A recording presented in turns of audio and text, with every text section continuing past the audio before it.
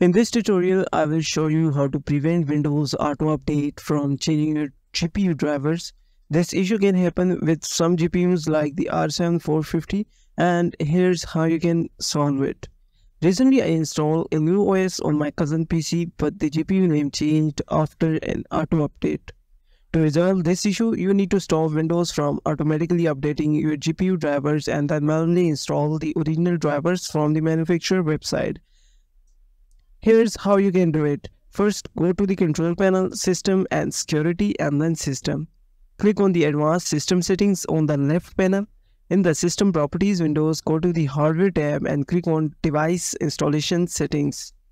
Select no. Your device might not work as expected and click save changes.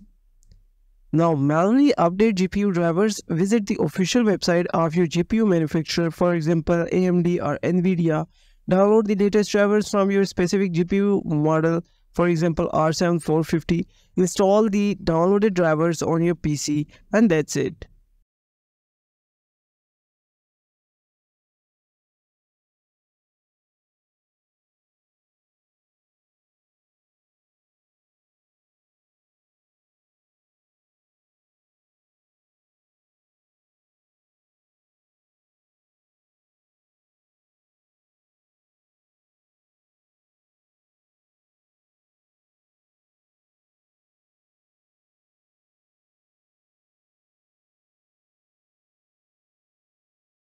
By following these steps, you can prevent Windows Auto Update from changing your GPU drivers and ensure that you are using the correct drivers for optimal performance.